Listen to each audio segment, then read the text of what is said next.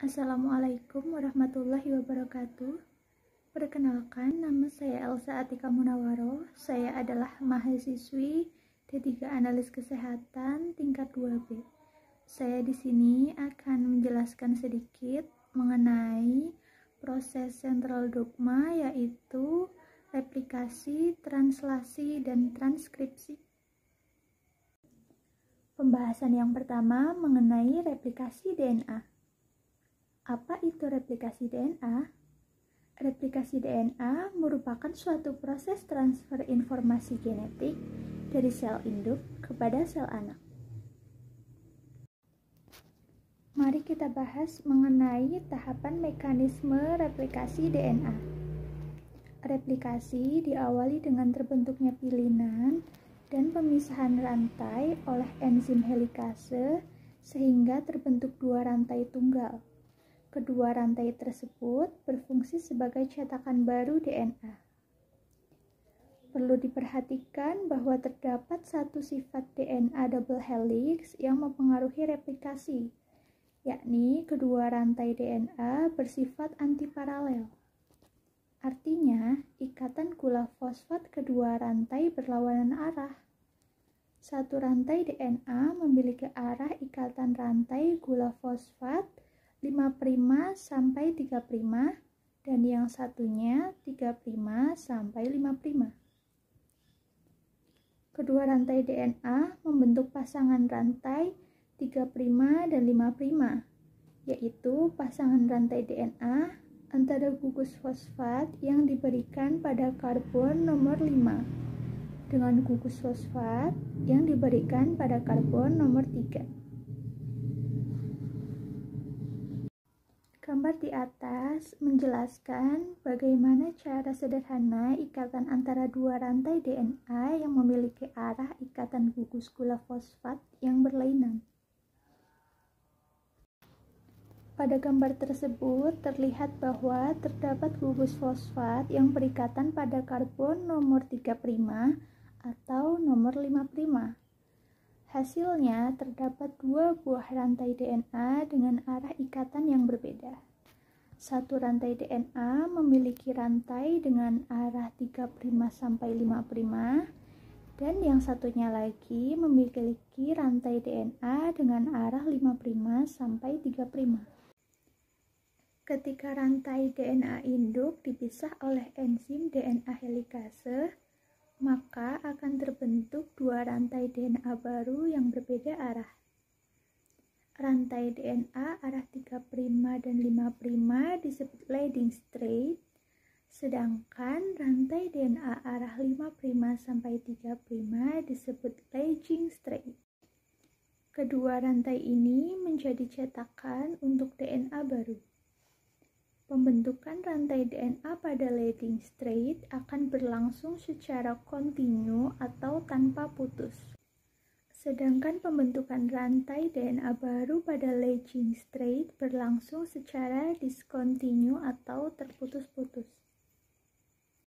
Pembentukan rantai DNA baru selalu terjadi pada arah 5' sampai 3' dan tidak pernah sebaliknya sehingga pembentukan rantai DNA baru secara kontinu terjadi pada rantai DNA induk yang memiliki ikatan gula fosfat 3' sampai 5' yaitu leading strand.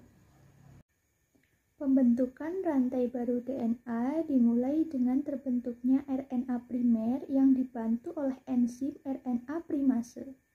Dilanjutkan pembentukan rantai DNA oleh enzim DNA polimerase.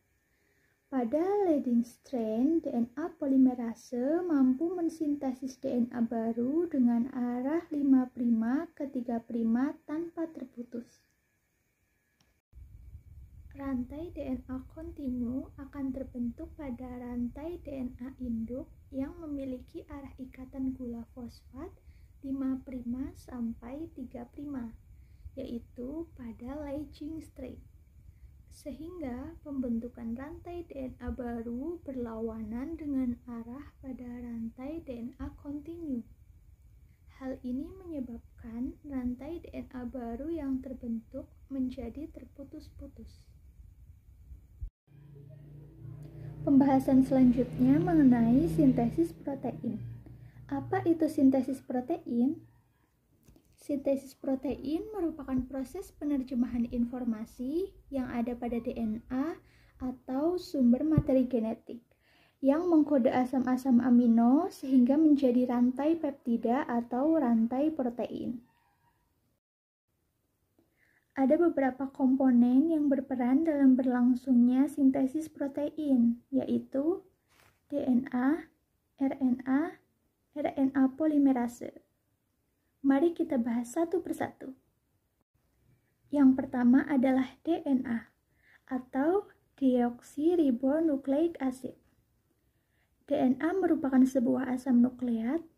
Gula deoksiribosa merupakan double helix Basa nitrogennya adalah A, T, G, dan S sebagai pengarah dalam proses sintesis protein dan mengandung informasi genetik yang menyebabkan munculnya sifat spesifik pada setiap organisme. Yang kedua adalah RNA atau ribonucleic acid. RNA merupakan sebuah asam nukleat. RNA adalah rantai tunggal gula ribolusa, basa nitrogen penyusun RNA yaitu A, U, G, dan S. Ada tiga tipe RNA. Yang pertama rRNA, yang kedua tRNA, yang ketiga mRNA. Yang ketiga adalah RNA polimerase. RNA polimerase merupakan sebuah molekul komponen transkripsi dan merupakan sebuah enzim yang berfungsi memisahkan untai DNA dan menggabungkan nukleotida-nukleotida RNA. Ada dua tahapan dalam proses sintesis protein. Yang pertama transkripsi, yang kedua translasi. Proses transkripsi dibagi menjadi tiga tahap. Yang pertama inisiasi, yang kedua elongasi, yang ketiga, terminasi. Tahapan yang pertama adalah inisiasi.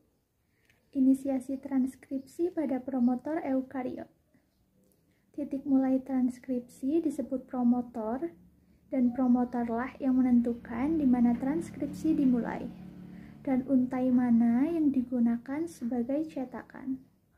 Selain itu, Promotor juga yang berperan sebagai pengikat RNA polimerase.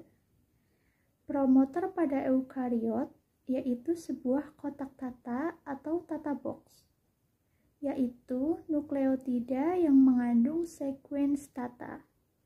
Faktor inisiasi transkripsi lainnya adalah protein-protein pada kompleks DNA. Tahapan yang kedua adalah elongasi. Elongasi transkripsi dapat disebut juga pemanjangan untai RNA. RNA polimerase bergerak sepanjang RNA membuka helix DNA.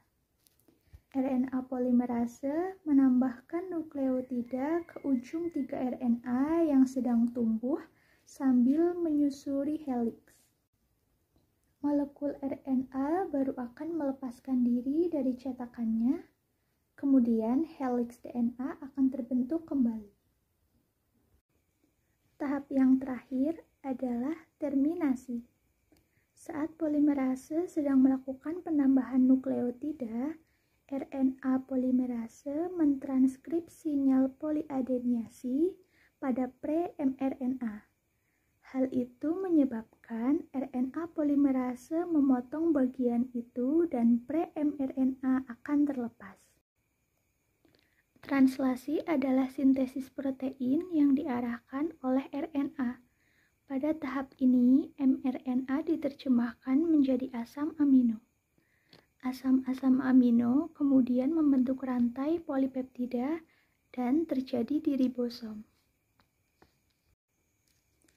Tahap inisiasi translasi dimulai dari bersatunya subunit ribosom kecil dengan mRNA. tRNA inisiator membawa antikodon UAC yang berpasangan dengan basa kodon AUG. tRNA membawa asam amino metionin. Tahap yang kedua adalah elongasi. Kehadiran amino RNA-T mengikat kodon pada ribosom. Ribosom mengkatalisis pembentukan ikatan peptida antara asam amino yang baru dengan ujung rantai polipeptida yang sebelumnya telah terhenti. Tahapan yang terakhir adalah terminasi. Pada tahap terminasi ini, ribosom akan mencapai kodon terminasi pada untai RNAD. Lalu, polipeptida akan terlepas dari ribosom. Untuk lebih jelasnya, mari kita perhatikan gambar di atas ini.